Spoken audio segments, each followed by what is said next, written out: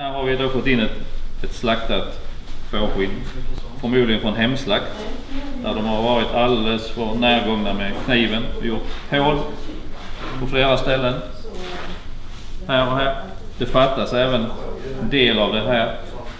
Och sen är det lite mycket fett kvar. Vilket har gjort att, att man har glömt att salta här under. Där det förmodligen kommer att bli en surskada sen på andra sidan. Det vill säga den kommer att tappa ylle där.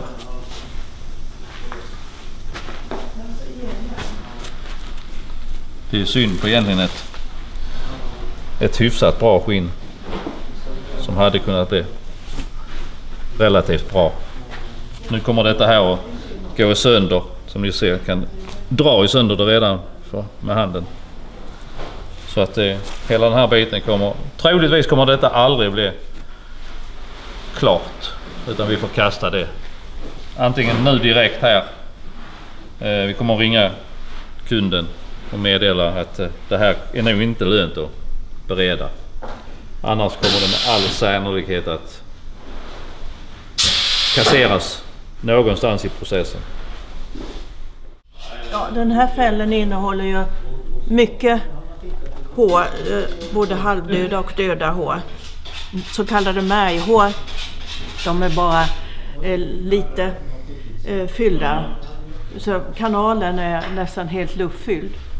Och när det gäller dödhår då är den helt luftfylld. Märgkanalen inuti. Det är ett hår som inte har något liv alls och som ömsar väldigt lätt och är oftast kort och gråvitt. Märghåren är också gråvita. De går inte att färga och de bryts lätt av och de sticks i ullen och eh, sticks i, i skinnet. Det blir ett strävt skinn, inte mjukt alls, så ska inte användas närmast huden. Och eh, här kan vi titta nära hur pass mycket märg och dödhår det finns i den här fällen. Väldigt mycket måste jag säga. Ni ser alla de här gråvita som inte är pigmenterade och som då heller inte tar emot färg. Och som är väldigt stickiga, kryper upp, kryper ut. Vad man än använder dem till. Sitter inte kvar heller när man har berett skinnet. Utan de är halvdöda och döda. Jag ska inte sätta markeringsfärg på ryggen eller överhuvudtaget på ullen utan försök att göra det på pannan eller längst ut på nacken. Det här har vi ett tydligt exempel på att det här kommer inte att gå bort i beredningen och det går ganska långt ner i fällen också. Och framförallt inte mattberedas och troligtvis så kommer det att synas i en plädberedning också, plädklippning. Det vill vi verkligen varna för. Det salt vi rekommenderar till saltning av, av råskinnen är stensalt 0,8 till 3,2 i grovstorlek. Får gärna kombineras med ett som är lite finare. Ungefär från 0,2 2 upp till 2,0. Det fina saltet då, eller lite finare saltet, är lite mer snabbverkande, drar ut vätskan. Och sen har man det lite grövre då som varar över längre tid. Det viktiga är att saltet behåller sig torrt och inte blir blött och rinner av. Då får man strö på nytt salt. Efter de här första två veckorna så kan man rista av saltet om det är torrt och fint och behöver inte strö på extra mycket extra salt efter det. Och sen kan man vika ihop det och skicka det till oss. Bestämma vilken sorts beredning man vill ha. Det finns att välja mellan mattberedning, då är inte ullen är nedklippt någonting utan den är i sin naturliga hårlängd när man lämnar lammet för slakt. Och sen kan man klippa ner till 35 mm hårlängd som kallas för plädklippning. Och sen kan man då beställa pälsklippning med 16-17 mm hårlängd. Alla de här skinnen är beställda som mattberedning, alltså inte nedklippning någonting. Och vi kan ju se skillnader då att det är inte alla skinn som går att mattbereda. Utan eh, här är ett skinn som är beställt mattberedning på och ullen har naturligtvis varit mycket längre Och det kan vi se här också. Här i kanten är det behållit sin längd lite grann. Men det är ett finfibrigt skinn med som jag kan se ganska mycket märghår i. Det gör att det lätt bryts av och inte tål beredningen. Och sen ser ni att det här är mycket kortare och det Eh, försvunnit mycket ull ifrån den här skinnet. Jag tror att den här djurägaren som lämnat in det här skinnet kommer att bli besviken. Eh, men lämnar man in en kvalitet som inte passar för mattberedning så, så får man ett sånt här skinn tillbaka. Det, det fattas mycket ull både i längd och mängd. Och här kan man då se att det är delvis märghår i den också.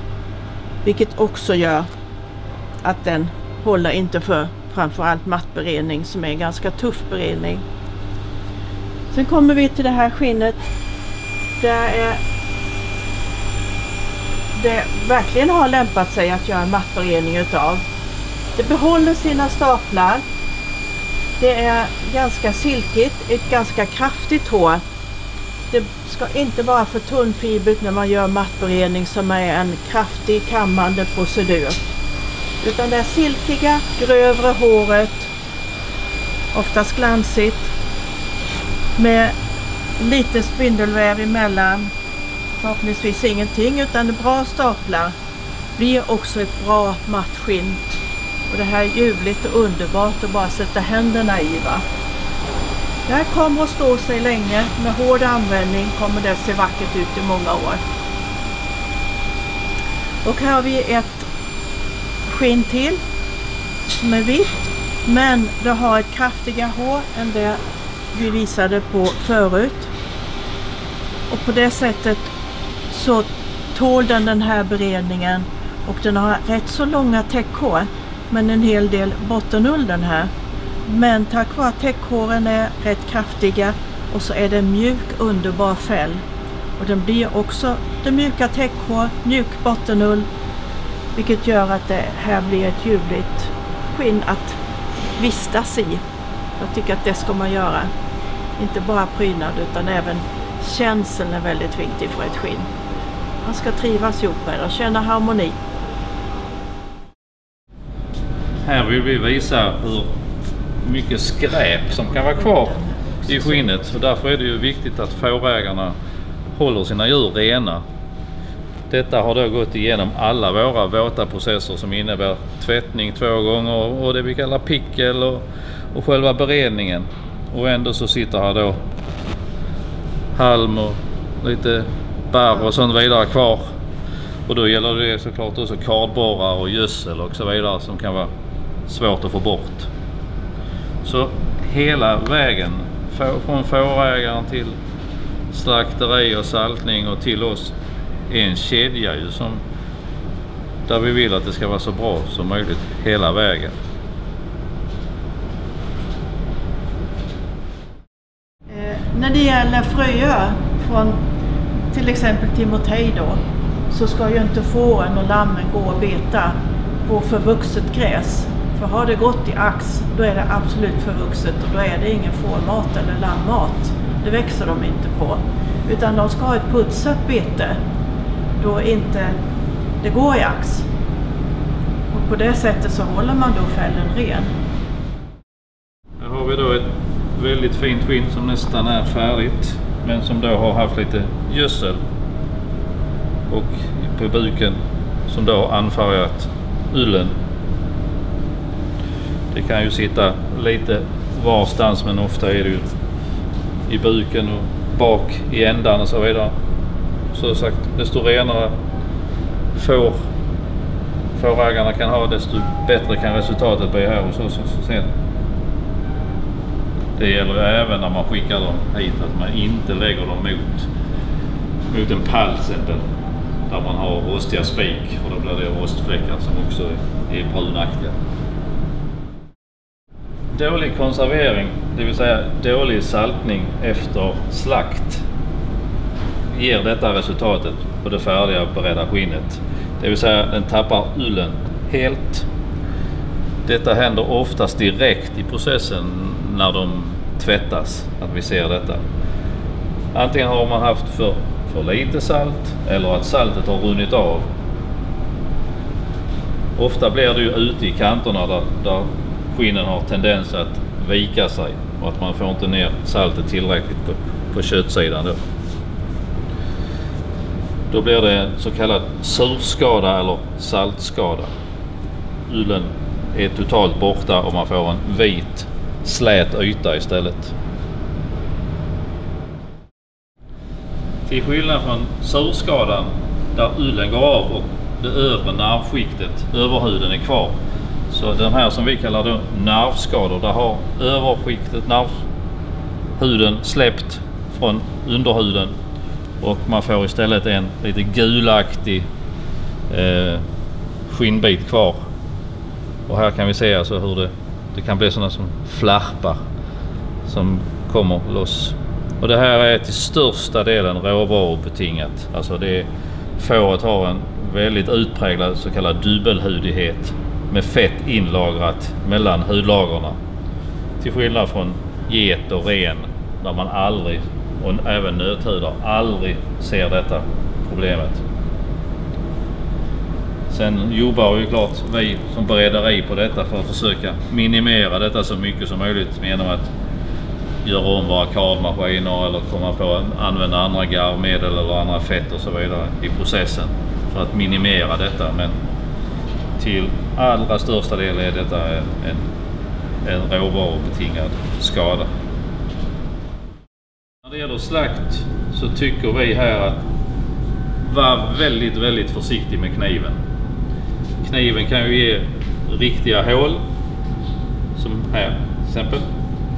Men det kan också ge flåssnitter som är väldigt svåra att se men som är ett väldigt skarpt snitt i huden.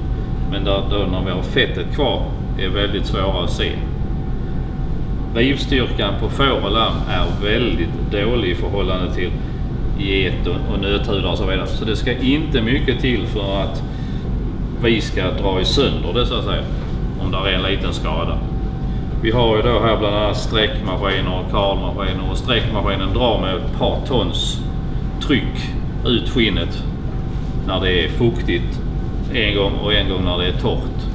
Och då ska det inte speciellt mycket till, ett litet hål eller någon annan skada för att hela skinnet kan brista. Så var försiktig med kniven. Men samtidigt är det det också, man vill inte ha för mycket fett kvar heller.